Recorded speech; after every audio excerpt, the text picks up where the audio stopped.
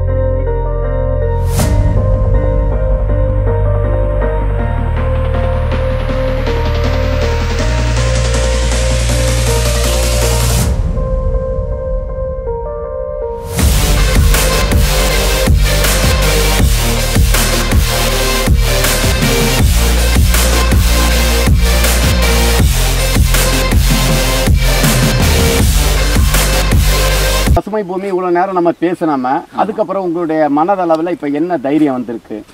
அது ஒன்னோட ஒன்று சப்போர்ட் நீங்கள் சொன்னோன்னு தெம்பு அதிகமாயிருக்கு அது இங்கே என்னுடைய அனுபவத்தில் வந்து இங்கே வந்து பசுமை மீன் சர்வீஸ் நல்லா இருக்கு. உங்களுக்கு ரொம்ப பயனுள்ளதா இருந்துச்சா இல்லையா? பயனுள்ளதாக இருந்துச்சு. யூடியூப்ல இருந்து பார்த்தேன் சேனல் பார்த்தேன். நல்லா தரமாக தான் இருக்கு. நல்லா இருக்கு. பார்த்தாலே விவசாயம் வந்து நல்லா சிறப்பாக செஞ்சு கொடுத்தாங்க. இப்போ நாங்கள் வந்து சாரை கூப்பிட்டு வந்து இந்த மாதிரி கேட்டதுனால எங்களுக்கு வந்து சந்தோஷமா இருக்கு. இப்போ நீங்கள் சொல்லும் போது எங்களுக்கு கொஞ்சம் மனசு கொஞ்சம் சந்தோஷமா தெரியுது. அவரே பார்த்துருக்காரு. அந்த அளவுக்கு ஒரு ரெஸ்பான்ஸ் கொடுத்துருக்காரு. வாயால மட்டும் சொல்லல. செயலால டெமான்ஸ்ட்ரேட் பண்ணி செஞ்சு அந்த தென்னமரத்தூர்ல மண்ணை விட்டு சாட்சி காட்டாங்க உங்களுடைய விவசாயத்து மேல உங்களுக்கு இருக்கிற ஈடுபாடு அதுல தெளிவா தெரிஞ்சுக்கலாம் அதான் நல்லா இருக்கதான் முதல்ல நான் உங்களை கூப்பிட்டுருக்கேன். அதை. செயல்படுத்த விரும்புகிறேன். வேற ஒன்றும் இல்லை. பெஸ்ட் சர்வீஸ் இருக்கு. ஃபோன் பண்ணால் ஆன்சர் பண்ணுறாரு சார் எப்போ நான் ஃபோன் பண்ணால் கூட அட்டன் பண்ணுறாரு எங்க உங்க ஆலோசனை எங்களுக்கு அப்பப்ப சொல்லிக்கிட்டே இருக்கணும். எந்த மார்க்கெட்டிங்கும் வேலை இல்ல. குழப்பத்தில் தான் எதை வைக்கணும் எதை செய்யணும் எப்படி செய்யணுன்றதுக்காக தான் உங்களை வர வச்சது. இப்போ கிளியராக எனக்கு மைண்டில் ரொம்ப ரெஜிஸ்டர் பண்ணி வச்சிருக்கேன். அருமையாக இருக்கு. வீட்டுக்கொரு தென்னை வளர்க்க வேண்டும் என்ற எண்ணம் உருவாக்கிய விவசாயிகளின் சேவகன் பசுமை பூமியின் காவலன். உழைக்கும் மக்களின் நாயகன் doctor lion D Natarajan BSc agri PhD USA அவர்களின் கோட்பாட்டை நிறைவேற்றிக் கொண்டிருக்கும் விவசாய பெருமக்கள் அனைவருக்கும் இந்த வீடியோ சமர்ப்பணம். விவஸ் விவசாயிகளை தேடி பசுமை பூமி என்ற கான்செப்டில் இன்னைக்கு நம்ம நிற்கிற இடத்த பார்த்தேன்னு சொன்னால் திண்டுக்கல் மாவட்டத்தில் தாடி கொம்புன்னு சொல்கிற ஒரு தாலுக்கா அது பக்கத்தில் வந்து கெச்சேனிப்பட்டின்னு சொல்கிற ஒரு வில்லேஜ் அகரம்னு சொல்லி சொல்லுவாங்க. இந்த தோட்டத்தினுடைய உரிமையாளரை பார்த்தேன்னு சொன்னால் உயர்திரு மிஸ்டர் பாலசுப்ரமணியன் சார் அவர்களை நம்ம பசுமை பூமி வாடிக்கையாளர்களுக்கு அறிமுகப்படுத்தி கொண்டு அவருடைய ஃபாதர்லா அதாவது மாமனார் உயர்திரு மிஸ்டர் கரிய பெருமாள் ஐயாவை நம்ம பசுமை பூமி வாடிக்கையாளர்களுக்கு அறிமுகப்படுத்திக் கொள்கின்றேன். சாரை பற்றி சொன்னேன்னு சொன்னால் சார் வந்து ஒரு போஸ்ட் மாஸ்டர் இருந்தும் இந்த விவசாயத்தை வந்து அவர் சாருடைய விவசாயத்தை ஏறக்குறைய ஒரு பதினாறரை ஏக்கரை வந்து சார் தான் மெயின்டைன் பண்ணி கொடு கொடுத்துக்கிட்டு இருக்காரு தோட்டத்தை ஏறக்குறைய ரெண்டரை மணி நேரமாக நாங்கள் விசிட் பண்ணிட்டு இருக்கோம் இதில் என்னென்ன விவசாயம் பண்ணிட்டு இருக்காங்கன்னு சொன்னால் இதில் தென்னை மரம் இருக்குது அதே மாதிரி வாழை மரம் மரவள்ளி குச்சி போட்டிருக்காரு சப்போட்டா போட்டிருக்காரு மாடு வளர்க்குறாங்க மாட்டு தீவன புல் இதை மாதிரி ஒரு ஒருங்கிணைக்கப்பட்டத்தினுடைய உரிமையாளர் தான் என்னோட பேர் பாலசுப்ரமணியங்க. நான் வந்து ஒரு வெளிநாட்டு கம்பெனிக்கு எம்டியாக இருக்கிறேன். ப்ளஸ் என்னோட சொந்தமாகவும் ஒரு ஸ்பின்னிங் மில் இருக்குது ஸோ இது வந்து மாமா பார்க்குறாங்க இந்த தோட்டத்தை. ஸோ வாங்கி அப்படி எங்கள் ஊர் பக்கங்கிறதுனால இங்கே வாங்கி பண்ணிட்டு இருக்கிறவங்க சொந்த ஊர் பழனிங்க சார், இந்த தோட்டம் வாங்கி எத்தனை வருஷம் சார்? பதினோரு வருஷம் ஆயிடுச்சு. பதினொன்று வருஷம். சரி ஐயா உங்களுடைய பேர் கொஞ்சம். Kaliya Perumal branch post master விவசாயம் மில்க் ப்ரொடியூசர் பிஸ்னஸ் பண்ணி பண்ணிட்டு. இருக்கிறோம். இப்ப த- ஐயா தான் இந்த தோட்டத்தை தோட்டம் விவசாயம். பார்க்குறேன் சொந்த தோட்டம் விவசாயம் பார்க்குறேன் மக தோட்டம் மருமையின் தோட்டத்தையும் பார்க்குறேன் ஓ விவசாயத்திலையும் ஐயாவுக்கு நல்ல அனுபவம் இருக்கு. பாரம்பரியம் முப்பது ஏக்கர் விவசாயத்தை நான் மெயின்டைன் பண்ணுறேன் நானூத்தம்பது தென்னை மரம் இருக்குன்னு சொன்னீங்க. ஆமாங்க. இதுல என்ன சார் உங்களுக்கு பிரச்சனை? பிரச்சனைகள்னு சொல்கிறத விட லாபகரம். இல்லை. ஆமாம் லாபகரம் என்ன? இல்லை பிரச்சனைன்னு ஒன்றும் இல்லை. பட் வந்து வந்து எதிர்பார்த்த ஈல்டு கிடைக்கல. நாங்கள் தெரிஞ்ச வரைக்குமே வந்து எத்தனையோ இடத்துல வந்து நீங்கள் ஒன்றும் இல்லாத ஒரு ஊர்ல எல்லாம் பெரிய பெரிய தோப்புகளை உருவாக்கி கொடுத்துருக்குறீங்க. உங்கள் கூட நான் பேசியிருக்கிறேன் ரெண்டு ஆமா வருஷமா. ரெண்டு தடவை சார் பேசி அதனால சரி நீங்கள் வந்து பார்த்தா நல்லா இருக்குன்றதுனால சரி பார்ப்போம் இந்த வீக் அப்படின்னு இது வந்து மற்ற விவசாயத்துக்கு இது பரவாயில்ல. பரவாயில்ல. தென்னை விவசாயம் பட் நம்ம இதை வந்து இம்ப்ரூவ் பண்ணலாம் கண்டிப்பாக இம்ப்ரூவ் பண்ணும் இருக்கிற பயிர்களில் ரிஸ்க் இல்லாமல் அதிக லாபம் கொடுக்குற பயிர்களில் ஒரு சில பயிர்களில் தென்னையும் இருக்கு ஐயா. எந்த பயிரும் வருமானம் கொடுத்தாலும் அனிர்தாவா ஆயிரம் மரம் இருந்தால் அரசனுக்கு சமன் சொல்கிறது பாக்கு மரத்துக்கோ இல்லை ஜாதிக்காய்க்கோ இல்லை மிளகுக்கோ இல்லை ரப்பருக்கோ இல்லை. இப்போ ஐயாவுடைய மரங்களை பார்த்தேன்னு சொன்னால் இப்போ இந்த மரம் ஐயா ஒரு ஏறக்குறைய ஒரு முப்பத்தி முப்பத்தி அஞ்சு வருஷத்துக்கு உட்பட்ட மரம். அங்கே பார்த்தீங்கன்னு சொன்னால் இருபத்தி ஏழு வருஷத்துக்கு உட்பட்ட மரம். இந்த மரங்கள் இன்னும் உங்களுக்கு இருபது வருஷம் நல்லாவே காய்க்கும். நீங்கள் இப்போ வந்து உள்ளே கண்டிப்பாக எங்குமே தென்னங்கண்டுகள் போட வேண்டியதில்லை. பட் இந்த இழந்த இடங்களுக்கு நீங்கள் கண்டிப்பாக பாடுவாசிக்கு தென்னங்கண்டு நீங்கள் கண்டிப்பாக போட்டே ஆகணும். தென்னை மரத்துக்குள்ளே ஐயா வளர்க்க வேண்டியது என்னன்னு சொன்னா ஐயா வாழை வளர்க்கலாம். காய்கறி பயிர்கள் போடலாம். அனப்பு தக்கப்பூண்டு கொளிஞ்சி இதெல்லாம் போடலாம். எக்காரணத்தை கொண்டு மரப்பயிர்களை நீங்கள் தோட்டத்துக்குள்ளே கண்டிப்பாக ஐயா அது லாபமாக இருந்தாலும் மேக்சிமம் அந்த மரப்பயிர்களை எடுத்துருங்க ஐயா. அது ஒரு காரணம். மூணாவது ஐயா உங்கள் தென்னை மரம் ரகத்தை பார்த்தேன்னு சொன்னால் இது ஐயம்பாளையம் நெட்டை. இந்த ஐயம்பாளையம் நெட்டையே உங்களுக்கு நானூற்றம்பது கிராமுக்கு மேலே வரும். அப்போ உங்களுக்கு ஏன் முந்நூற்றி இருபத்தஞ்சி முந்நூற்றம்பது கிராம் இருக்குன்னு சொன்னால் நம்ம பராமரிப்பில் சில குறைபாடுகள் உர சத்துகளுடைய குறைபாடுகள் இதுதான் நம்ம தோட்டத்தில் உள்ள பிரச்சனை. நம்ம மண்ணை பார்த்தேன்னு சொன்னா ஐயா மண் வந்து நம்ம ரெண்டு மண் வந்து சார் உங்களுக்கு ரெண்டு மூணு வகையான மண் சார் இந்த இடத்துல கம்ப்ளீட்டாக வந்து நமக்கு வந்து கிராவல் இல்லாமல் இது வந்து ரெட் கிளைல் ஒம் சொல்கிறது அதாவது வண்டன் மண் வகைக்கு இணையான மண் தான். இதில் வந்து லைட்டாக கால்சியம் இருக்குது பட் இந்த கால்சியம் வந்து உங்களுக்கு தென்னைக்கோ மற்ற பயிர்களுக்கோ தேவையான கால்சியம் தான் இருக்க தவிர கல்கரிய சாயில் சொல்கிற அளவுக்கு இல்லை. அடுத்து மண்ணினுடைய கார அமிலத்தன்மையை நம்ம இப்போ பார்க்க போகிறோம் மண் மண்ணை வந்து அனைத்து சத்துக்களும் ஒருங்கிணைக்கப்பட்ட விரிஜின் சாய் அதாவது ஒரு கற்பு மண்ணுன்னு சொல்கிறது இந்த மண்ணில் வந்து உங்களுக்கு தேவையான பொட்டாசத்தும் இருக்கு. இதே மாதிரி வந்து மணிசத்தும் இருக்கு. தலைச்சத்து கொஞ்சம் கம்மியாக இருக்கு. பட் தென்னைக்கு போதுமான அளவுக்கு உள்ள பொட்டாசு இதில் இல்லை. அடுத்த உப்பு சத்து கம்மியாக இருக்கு. சுண்ணாம்பு சத்து ஓரளவு இருக்கு. தென்னை வந்து தனிப்பயிறு கிடையாது. சரி. தென்னை வந்து ஒரு குடும்ப பயிர். தென்னை மரத்தை வந்து இங்க பாருங்க ஒரு களைகள் இல்லை. இருக்கிறதையும் நீங்க களைக்குள்ளே அடிச்சு சாகடிக்கிறீங்க. தென்னை மரம் இந்த ஏஜில் உங்களுக்கு வருஷத்துக்கு இருநூத்தம்பது காய்கள் காய்க்க வேண்டிய தருவாய். ஏன்னா தென்னை மரத்துலயே மூணு வகையா ஒன்று வந்து பன்னிரெண்டு வருஷத்துக்கு கீழே டிக்ளைன் ரெண்டு டு முப்பது வருஷம் ஆப்டிமம் நிறைய காய்க்கிறது மேக்சிமம் பீரியடு முப்பது டு நாற்பது ஐம்பது வருஷத்துக்கு பிறகு தான் டிக்ளைன் பீரியடு உங்களுக்கு இப்போ ஒரு முப்பது வருஷத்தில் மரம் இருக்கனால இதெல்லாம் மேக்சிமம் பீக்கில் ஒரு ஒரு மரம் வந்து வருஷத்துக்கு கண்டிப்பாக இருநூத்தம்பது காய்கள் கண்டிப்பாக காய்க்கும். அப்போ ஏன் காய்க்கலை? காய் ஏன் சிறுக்குது? கொப்பரை வேட்டியே காரணம் சொன்னால் அப்போ நீங்கள் இதுக்குள்ளே என்ன செய்யணும்னு சொன்னால் உங்கள் தோட்டத்தில் முழுவதும் மழை காலங்கள்லையோ கொள்ளு தக்கப்பூண்டு கொளிஞ்சி இதை மாதிரி வேர் முடிச்ச தாவரங்களை விதைச்சி விடணும். இந்த மாதிரி தோப்பு இருந்தால் நீங்கள் எந்த உரம் கொடுத்தாலும் காய்ப்பு திறன் கூடாது. காய் சிறுக்காரம் ஏன்னா சூரிய ஒளி தரையில் படக்கூடாது. சூரிய ஒளி மேலே இலையில தான் படணும். நீங்கள் தரையில் பட்டாலே தரையில் இருக்கிற நியூட்ரியன்ஸ் சத்துக்கள் எல்லாம் ஆவியாகி வெளியில் போயிடும் மண்ணில் இருக்கிற மண்புழுக்கள் நுண்ணுயிர்களும் செத்து போயிடும் இந்த மண்ணில் கரிம பொருள் வந்து ரொம்ப ரொம்ப கம்மியாக இருக்குது அதாவது ஆர்கானிக் கார்பன் சொல்றது ஓ அதுதான் ஆர்கானிக் கார்பன் தான் ஒரு மண்ணினுடைய வளத்தையும் காயினுடைய சைஸையும் கொப்பரா வெயிட்டையும் முடிவு பண்ணது ஆர்கானிக் கார்பன். அதான் பேசிஸ் இல்லைங்களா? பேஸு அந்த பேஸ் வந்து மாடு நீங்கள் வளர்த்தாலே மாடுகள் அங்கங்கே சாணியை போடும் மாடுகள் அங்கங்கே யூரினை விடும் மாடுனுடைய கால் பாதத்தில் சுண்ணாம்பு சத்து இருக்கு இதெல்லாம் போகும்போது மண்ணினுடைய நுண்ணுயிருடைய பெருக்கம் தானாக வளரும். உரமும் குப்பையும் வைக்காமலேயே தென்னை மரம் குலகுலையாக காய்க்கும். அடுத்து நம்ம செய்ய வேண்டியது என்னன்னு சொன்னா சார் எக்காரத்தை கொண்டு இங்கே இருக்கிற புல்லுகளையோ சத்துக்களை எடுத்து வெளியில் கொண்டு போகக்கூடாது. இது மிகப்பெரிய தவறு. அதாவது இங்கே தான் நீங்கள் சத்துக்கள் நிறைய இருக்கும். இதுகளை வறண்டி சூருக்கு தான் அணைக்கணும். இந்த வேறு தெரியக்கூடாது. இந்த வேறு தெரியக்கூடாது. இப்படி இந்த பாருங்க இந்த வேர்களை மறைக்கணும். சரி. மறைச்சிக்கிட்டு இதில் இப்படி ஸ்லோப்பாக ஸ்லோப்பாக இப்படி பண்ணிக்கிட்டு இந்த விழுகிற மட்டை சரி.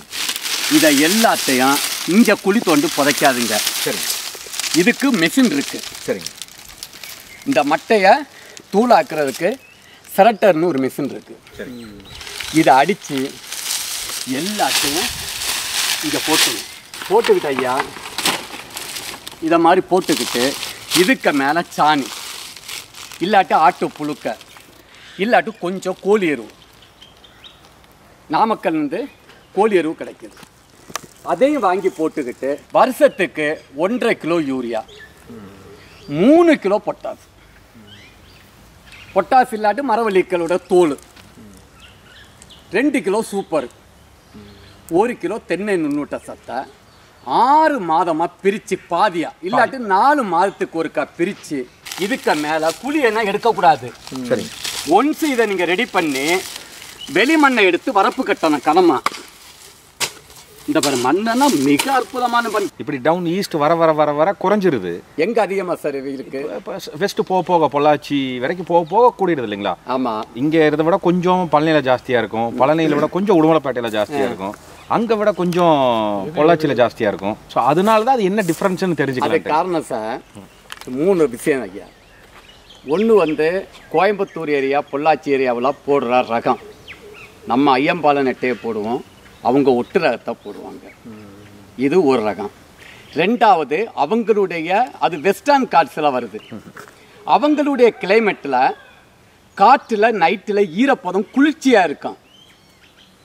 நம்ம ஏரியா இங்கிட்டு வர வர வந்து குளிர்ச்சியினுடைய தன்மை வந்து கொஞ்சம் குறையும். வெயில் உஷ்ணத்தினுடைய அளவு வந்து அதிகமாக இருக்கும். மூன்றாவது அவங்க பராமரிக்கிறது மெதடு. அதனால் ஒரு பத்து இருபது பர்சன்டேஜ் வேரியேஷன் இருக்குமே தவிர கண்டிப்பாக நம்ம காயை நானூற்றம்பது கிராம் ஐநூறு கிராமுக்கு கொண்டு வரலாம் காரணம் வந்து இதுதான். நம்ம இந்த பராமரிப்பு முறைகளை வந்து இதை மாதிரி நம்ம மெயின்டைன் பண்ணணும். இந்த வரப்பை வச்சுட்டு இதுக்கு உள்ள குப்பை சாணியை போட்டுக்கிட்டு இந்த உரம் சொன்ன என்ன சார் இந்த உரத்தை வந்து நாலு பங்கா பிரித்து அப்போ இப்போ ஒன்றரை கிலோ யூரியான்னு வைங்க. ரெண்டு தடவை வைக்கும்போது எழுநூற்றம்பது கிராம் எழுநூற்றம்பது இதை வந்து இன்னும் நாலு தடவையான்னு வைக்க முந்நூற்றம்பது முந்நூற்றம்பது கிராம் நானூறு கிராம் முந்நூற்றம்பது முந்நூற்றி எழுபத்தஞ்சு கிராம் வரும்.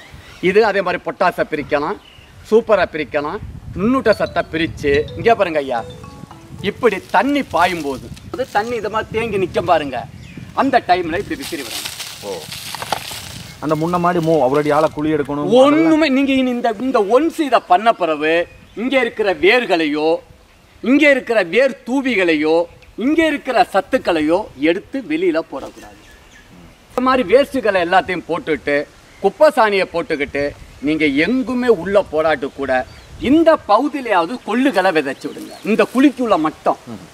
வெளியில் அவுட்டரில் உள்ள உள் சைடு சார் நீங்க இதுக்குள்ள கொள்ளு போட்டாலே உரம் வச்சாட்டம் தென்னை மரம் இருநூத்தம்பது காய் குறையாம காய்க்கும் இப்போ இதெல்லாம் போட்டு ஃபில் பண்ணுறோம் கொள்ளு எங்கே போடுறது சார்? இப்போ இதெல்லாம் கொள்ளு வந்து இப்போ நம்ம இதை போட்டுட்டேன்னா போட்டுட்டு லைட்டாக இந்த மேல் மண் இருக்கு பாருங்க. இந்த மண். இதை இதை எடுத்து லைட்டாக மூடிடணும். இப்போ மூடிட்டோமா? மூடிட்டோம் பாருங்க. மூடிட்டோம். சரி. தண்ணி விடும்போது இன்னும் இதாகும். போட்டுக்கிட்டு இந்த மண்ணை கட்டுறேன் என்ன?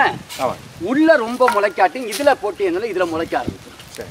இப்போ கொள்ளு போட்டால் எத்தனை நாளைக்கு அப்படியே கொள்ளது தொடவே கூடாது.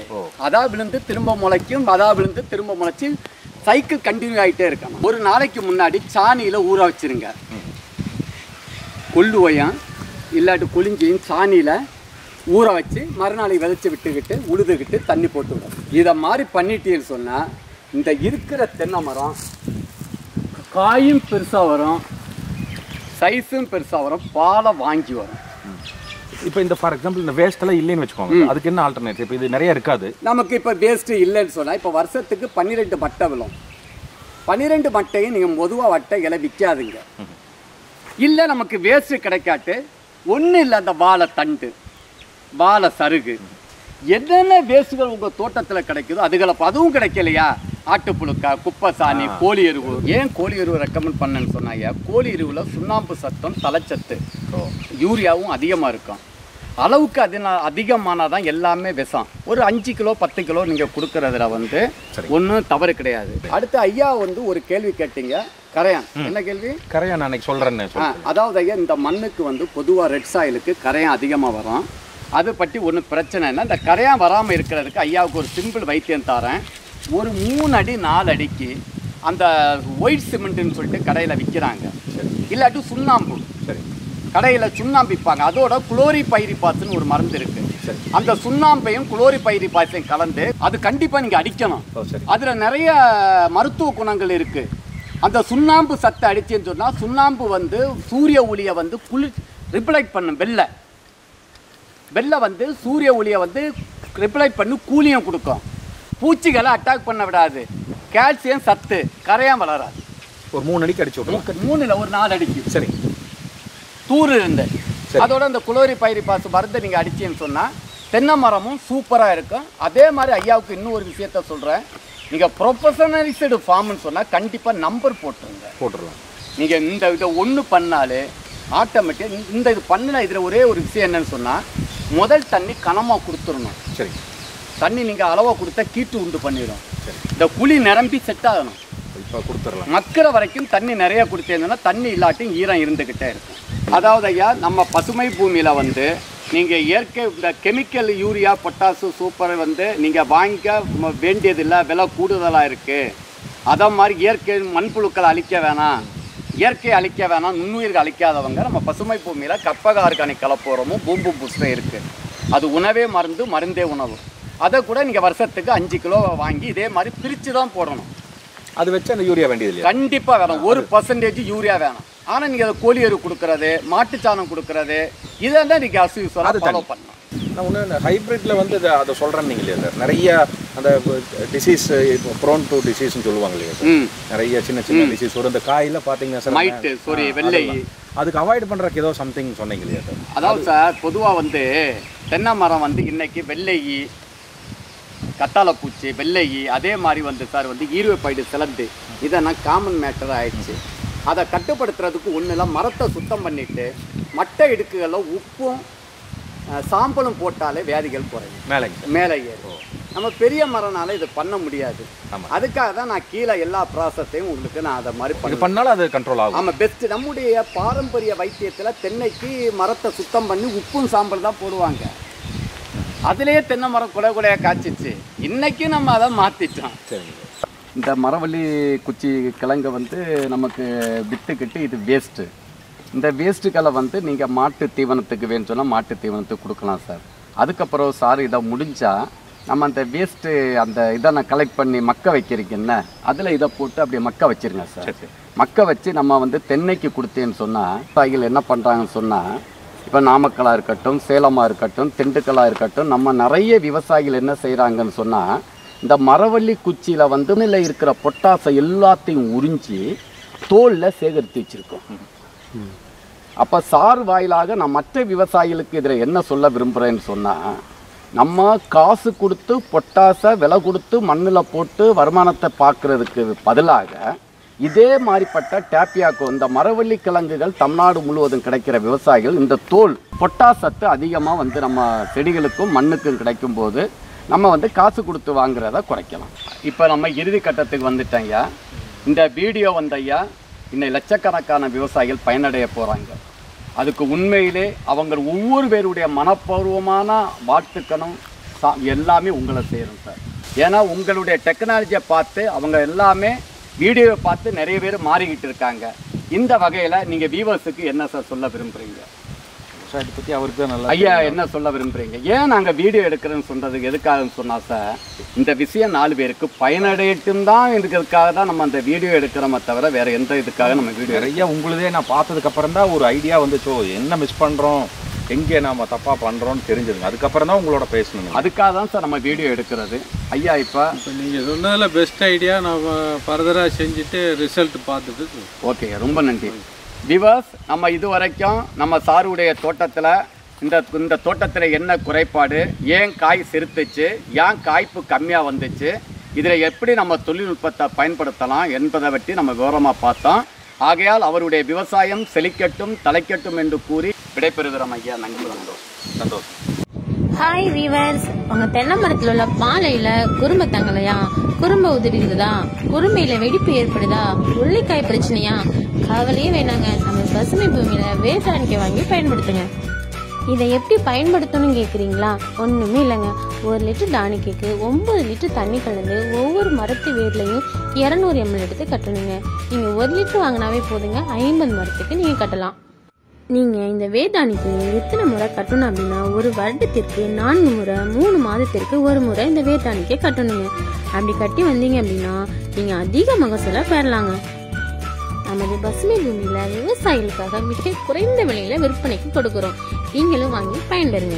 சார் குட் மார்னிங் சார் பசுமை பூமியின் சார்பாக உங்களுக்கு ஒரு அன்பான காலை வணக்கத்தை சொல்கிறேன் சார் சார் உங்களுடைய name sir doctor Babu Anand okay sir principal PGS Pillai college of pharmacy okay sir Nagapattinam. அப்புறம் கவுனி council member Tamil Nadu doctor MGR medical university கவுனிங் council okay okay sir ஆட்சி மன்ற குழு உறுப்பினர் Tamil Nadu doctor MGR okay sir okay sir ரொம்ப நன்றி sir உண்மையிலே நீங்கள் வந்து ஒரு டாக்டர் ஃபீல்டு எங்களை மாதிரிப்பட்ட உயிரையும் பாதுகாத்துக்கிட்டு அந்த விவசாயத்தையும் செய்யணும்னு ஆசைப்படுறீங்க சார் உண்மையிலே கடவுள் சார்பாக உங்களுடைய விவசாயம் செழிக்கட்டேன் என்று மனப்பார வாழ்த்துக்கிறேன் சார் சார் வீடியோலாம் நிறைய பார்த்துருக்கேன். சரி சார் ரொம்ப நல்ல எக்ஸ்பிளனேஷன் வந்து ரொம்ப சாதாரண மக்களுக்கு புரியுற மாதிரி. சரி சரி சார் சரி அதனால உங்களை மீட் பண்ணணும்னு ரொம்ப நாள் நினச்சிட்டே சரி சார் சரி சார் அப்புறம் நமக்கு நாகப்பட்டினம் சரி இந்த வழியில போகும்போது ஊருக்கு போகும்போது அதை மீட் பண்ணலாம் சரி சார் சின்ன ஒரு மூணு ஏக்கர்ல ஒரு தோப்பு சின்ன இது இருக்கு. இருக்க நம்ம ஊர்ல? ஊர்ல இருக்கு. ராஜபாளையம். ராஜபாளையம். அந்த இடத்துல தான் தோப்பு இருக்கு. சரி சார் சரி சார் சின்ன தோப்பு இருக்கு. பழைய மரங்கள் அப்பா காலத்துல வச்ச மரங்கள் ஒரு நாற்பத்தஞ்சு ஐம்பது வருஷத்துல இருக்கிற மரங்கள் இருக்கு. அப்புறம் மாந்தோப்பு. மாந்தோப்பு இருக்கு. எல்லாமே பழைய மரங்கள் தான். எல்லாமே ஆ, சரி மாந்தோப்பு சார். கிட்டத்தட்ட இருபது இருபத்தஞ்சு வருஷம் கண்ணு முப்பது வருஷம் சரி சார். அது சரி நம்ம இப்போ வந்து உங்க இதை பார்த்து தான் சரி இந்த குட்டநெட்டை நல்லா இருக்கு பாக்குறதுக்கு நல்லா இதுன்னு சொல்லிட்டு பசுமை பூமியினுடைய வீடியோக்கள் என்ன எப்படி சார் இருக்கு? எக்ஸலண்டா இருக்கு சார். அது- அது நீங்க உங்களுடைய ரொம்ப அந்த அந்த ரொம்ப உயர்த்தன்மையா இருக்கு. வீடியோல எல்லாம். சரி. ரொம்ப நல்லா இருக்கு. லைவா இருக்கு சரி சார் உண்மையிலே நீங்க சொன்னது இதுதான் எங்களுக்கு ஒரு டானிக்கு சார் இன்னும் நாங்க நிறைய செய்யறதுக்கு எங்களுக்கு நீங்க ஒரு உந்த சக்தியை கொடுத்துட்டீங்க சார் சார் ஆக்சுவலா விவசாயத்தை நீங்க இப்பதான் செய்கிறீங்களா இல்லை முன்னாடியே இல்ல சார் நான் விவசாயம் ரொம்ப இல்லை சார் அப்பா காலத்துல இருந்து பா- அப்பா இருக்கும்போது கவர்மெண்ட்ல தான் இருந்தா கவர்மெண்ட் ஆடிட் ஆஃபீஸரா இருந்தாரு. அதுக்கப்புறம் அப்பா இறந்த பிறகு அது பிறகு அது அப்படியே ரொம்ப லேண்டு கூட நிறைய இருக்கு இருக்கு பட் எல்லாமே வந்து அப்படியே குத்தகைக்கு விட்டுட்டு அப்படியே விட்டு விட்டுருக்கோம். பக்கத்துல. தோப்பு தான் இதுதான். நான் போய் இருக்கிறதுக்கு தோப்பு நல்லா இருக்கும். அது வந்து நான் மொனா ஸ்டே பண்றதுக்கு அங்க உள்ள ஒரு சின்ன வீடு உள்ள வச்சிருக்கேன். ஃபார்ம் ஹவுஸ் அதனால அது நல்லா இருக்கும் ஸ்டே பண்றதுக்கு. அது அது கொஞ்சம் அடர்த்தியா இல்லாம இருக்கு. நிறைய மரங்கள் போட்டா அது பழைய மரங்கள் ஆயிடுச்சு எல்லாமே. அது புதுசா போட்டா நல்லா இருக்கும். இன்னும் ஒரு அந்த ஏற்கனவே இருக்கிற மரங்கள் வந்து எண்பது மரம் வந்து இருக்குன்னு சொன்னீங்க. அது வந்து இப்போ ஒரு ஃபிஃப்டி இயர்ஸ் மேல ஆயிடுச்சு. புளி தானே கரெக்டாக எடுத்து அந்த நடவு முறை இதெல்லாமே சார் தெரியும் என்ன ஆ, சார் தெரியும் சார். அதெல்லாம் உங்க வீடியோ பார்த்திருக்கேன் நிறைய பார்த்திருக்கேன். சரி சார். இப்போ சார் அங்க இப்போ சார் இங்க ஒர்க் பண்ணிட்டு இருக்கீங்க. இப்போ அங்க யார் சார் அதை அங்க பாக்குறதுக்கு ஆள் போட்டிருக்கேன் சார். வேலையாள் போட்டிருக்கேன். எல்லாமே தெரியும். அவருக்கு எல்லாமே தெரியும். அவர் விவசாயம் தான். அவர் அவரையும் சார் ஃப்ரீயா இருக்கும்போது அப்பப்போ நம்ம அந்த பசுமை பூமியுடைய அந்த வீடியோ வீடியோவா அவரை பார்க்க சொல்லுங்க. அந்த பூச்சி நோயை எப்படி கட்டுப்படுத்துறது பராமரிக்கிறது அந்த மூடாக்கு மல்ச்சிங் எப்படி பண்றது தண்ணி எப்படி பாய்க்கிறது இதை மாதிரி அப்புறம் வந்து சார் உள்ள வந்து கொஞ்சம் ஊடு பயிர்கள் அந்த தென்னைக்கு உள்ளேயே இந்த சனப்பு தக்கப்பூண்டு இல்ல போட்டுருக்கோம் சார். சனப்பு தான் சார் கொண்டு போட்டுருக்கோம் அந்த உயிர் உயிர் உரங்கள். சனப்பு எப்பயும் போட்டு ஒரு வாட்டி உழுதுருவோம். உழுதுட்டு பாத்தி கட்டிடுவோம் ஆ. சொட்டு நீர் காட்டி பாத்தி கட்டிடுவோம் ம், ம். நம்ம இப்போ இருக்கிற மரத்தை மட்டும் இன்னும் கொஞ்சம் நம்ம பூஸ்டப் பண்ணலாம் சார் சரி சார் ஓகே சார் வேற எதுவும் டவுட் இருக்கா சார் வேற இல்லை சார் உங்களுக்கு கரெக்டாக எத்தியும் பண்ணிட்டீங்க. சரி. பார்க்குறேன் சார் சரி சார் இப்போ சார் நீங்கள் பசுமை பூமிக்கு இங்கே வந்திருக்கீங்க. அது எங்களுக்கு ரொம்ப சந்தோஷம். இப்போ வியூவர்ஸுக்கு நீங்கள் என்ன சார் சொல்ல விரும்புறீங்க இங்கே? வேற ஒண்ணுமே வேணாம் சார் பசுமை பார்த்தாலே விவசாயம் பண்ணுங்க சரி சார் சரி நல்லா பண்ணிருப்பாங்க நல்லா எக்ஸ்பிளனேஷன் நல்லா. சரி சார் ரொம்ப நன்றி சார் ரொம்ப ரொம்ப நன்றி.